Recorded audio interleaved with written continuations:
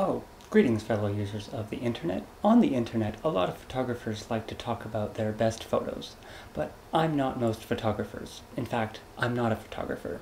I'm just some guy with a dumb face who makes videos on YouTube that nobody watches. So I'm going to do something completely different. Hi, my name's Jordan, and I'm a wannabe photographer.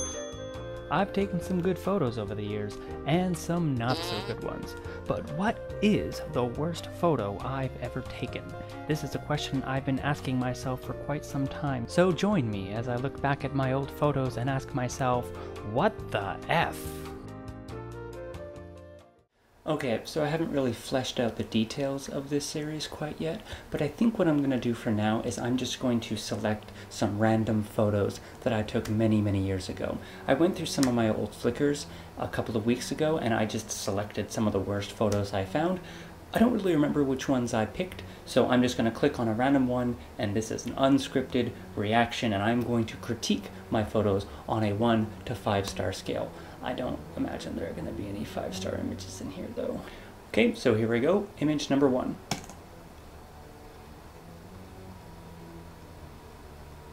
Uh, so let's talk about this image. Um, this image was taken in Aizu Wakamatsu in Japan, and it was taken from the top of Tsuruga Castle. Um, and that's pretty much it, I guess. Uh, wow, this is a lot harder than I thought. This is really bad. Let's start with some of the technical things. So uh, you might notice that it's not um, level. So tip number one, level your images. It's very important to do that. The next thing I notice here, um, I've zoomed in a little bit, and this might just be a file compression thing because I took it from Flickr, but it might also be because I took this with my old camera on probably landscape mode because I didn't know how to use my camera back then. Uh, but it is really, really noisy in the mountains here.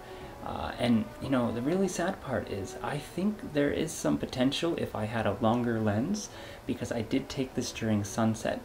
But, you know, as it is, this is just a terrible, terrible photo. I mean, there's some nice clouds in the top there.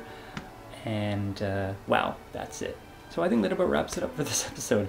I thought it would be a little longer than this, but it turns out uh, when it comes to my shitty photos, uh, there's not much to say. So what can we learn from this photo? Level your images, don't be bad, and uh, don't process things like a freaking idiot. Uh, I have processed this image horribly.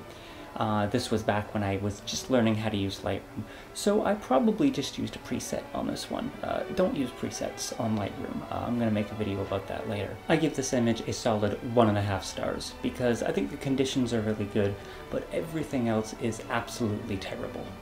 I should have named this series Career Suicide. Well, see you next time.